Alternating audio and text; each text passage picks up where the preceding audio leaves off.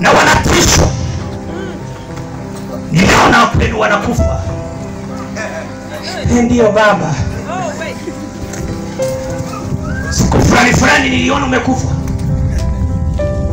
Hauoti njozi mbaya mbaya? E, kwa kweli waga naota. Sasa toa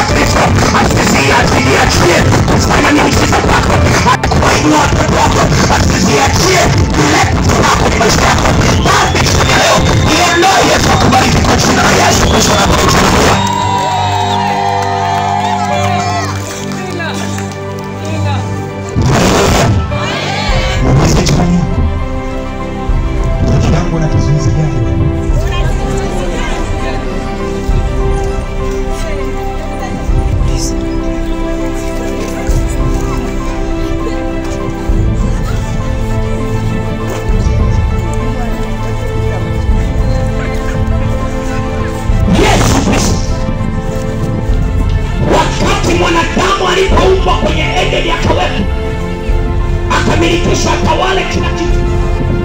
Yaani hapo ulipo, nataka nikwambie kinachokusumbua jioni ya leo, natamani ukiachilie. Mimi sikudanganya, injili yangu hapo inanyoka hivi. Nasikiliza, hakuna hujalogwa wewe, Nisikilize, achana na injili. Kuna wachawi wanakutisha.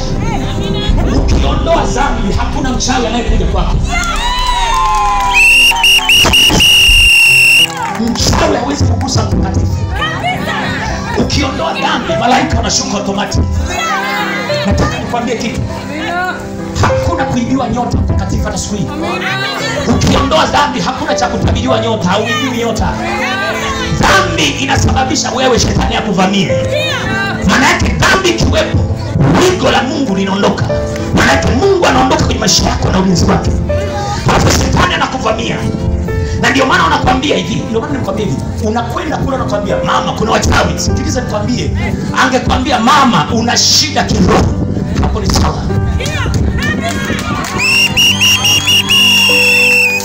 Achana propaganda za kiganga za sasa hivi za watumishi, asikudanganye mtu kukupotosha kwenye imani.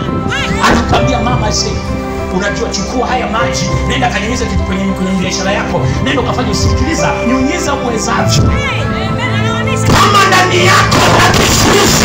Yesu hawezi kufanya chochote, Yesu hawezi kushuka. Yesu, Yesu, Yesu anatazama utakatifu, anatazama utakatifu, ukiondoa kizuizi, Yesu anatenda muujiza. Haleluya!